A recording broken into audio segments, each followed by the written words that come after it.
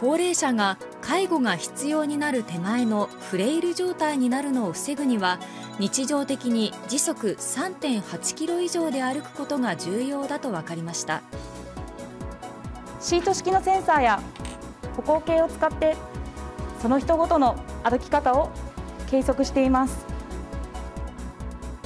花王と国立長寿医療研究センターの研究によりますとフレイル状態の人と健康な人の歩き方の境は歩数にして1日6342歩。時速はおよそ 3.8km でした。歩行速度が遅い場合2年後の要介護発生率がおよそ3倍高くなったということです。自分が出せていた歩幅よりも少し伸ばすような感覚で歩いていただくということを意識していただけますとその人にとってはいいエクササイズ。なっていくということがあると思います。花王はフレイル状態になるのを防ぐためにも腕を軽く振ってかかとから着地する歩き方を進めています。